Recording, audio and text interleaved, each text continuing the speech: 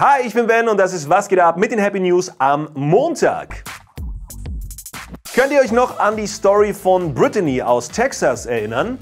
Brittany hat einen Hirntumor und vor einem Jahr sah es noch so aus, als ob sie sterben müsste, weil sie keine Krankenversicherung hatte und sich die Behandlung nicht leisten konnte. Jetzt ist sie schwanger und ihre Symptome, also Kopfschmerzen, verschwommenes Sehen und Schwindelgefühle sind so gut wie weg. Aber fangen wir nochmal von vorne an. Brittany suchte vor etwa einem Jahr einen Arzt auf, weil sie unter den eben genannten Symptomen litt. Es stellte sich heraus, dass sie einen Tennisballgroßen Gehirntumor hat. Wie viele Amerikaner Amerikaner hatte Brittany keine Krankenversicherung, weil die mit etwa 600 Dollar im Monat einfach zu teuer gewesen wäre.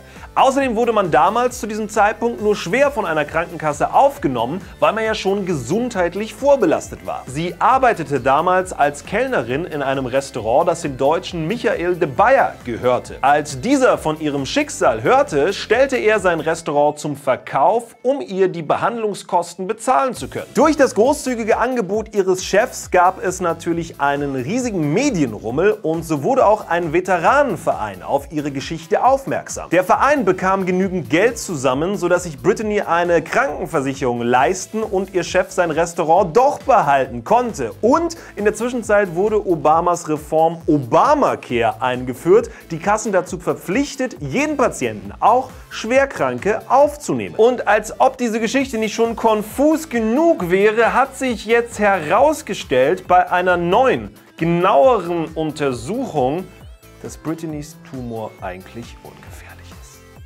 ja, das bedeutet für Brittany, sie kann sich jetzt erstmal auf ihr Töchterchen freuen, das sie erwartet und die Symptome sind auch weg. Also alles eigentlich gut.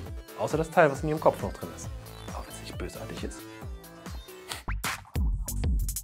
Auch wenn es schon etwas länger her ist, wollen wir euch diese Aktion nicht vorenthalten. Der erste FC Nürnberg hatte Ende Oktober 3500 Flüchtlingen Freikarten geschenkt. Flüchtlinge aus Nürnberg, Fürth und Zirndorf waren zu dem Spiel des ersten FC Nürnbergs gegen den FC St. Pauli eingeladen. Der Verein wollte den Menschen, die ja einiges hinter sich haben, damit eine Freude machen und sie auch gleichzeitig mit Deutschen in Kontakt bringen. Und natürlich lernten sie auch einen wichtigen Teil der deutschen Kultur kennen, nämlich Fußball. Das Spiel endete übrigens mit einem Unentschieden mit 2 zu 2 und für die Flüchtlinge dürfte es eine schöne Abwechslung gewesen sein. An so einer Aktion können sich andere doch auch mal ein Beispiel nehmen. Es gibt ja wenig Sachen, die mehr nerven als ein leerer Handy-Akku, wenn man einen wichtigen Anruf erwartet oder eine wichtige Nachricht versenden will. Aber es gibt viele Lösungen und das ist die gute Nachricht und eine davon ist die folgende. In Zukunft könnte es nämlich möglich sein, den Handy-Akku per Tag-Nacht Rhythmus aufzuladen. Das funktioniert, indem elektrochemische Zellen Energie aus Temperaturunterschieden gewinnen können und tagsüber ist es ja bekanntlich wärmer als nachts. Die Idee dazu hatte ein Forscherteam vom MIT aus Massachusetts in den USA, die jetzt einen Prototypen entwickelt haben. Bisher muss der Temperaturunterschied aber noch ziemlich groß sein, zwischen 20 und 60 Grad Celsius, damit die Energiegewinnung funktioniert. Die Zelle besteht aus speziellen Elektroden, die durch eine wässrige Lösung aus Salpeter verbunden werden.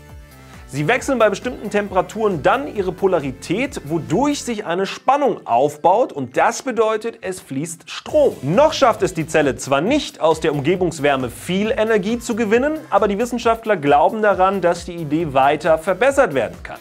Sie wollen daraus ein System zur Stromgewinnung bauen, das in abgelegenen Gebieten verwendet werden kann. Hier gibt es noch eine News über Solarradwege in Holland und hier über einen Akku, der sich durch Bewegung auflädt. Und apropos Akku, in welcher beschissenen Situation war euer Akku denn schon leer? Vielleicht als ihr auf eine Freundin gewartet habt, ja, als ihr vom Kino oder so standet, postet es unten in die Kommentare. Ansonsten unten in der Videobeschreibung noch die Links zu Facebook, Instagram und auch zu meinem Kanal und hier gibt es einen Abonnieren-Knopf draufklicken und kein Video mehr verpassen. Tschüss und jetzt Akku laden.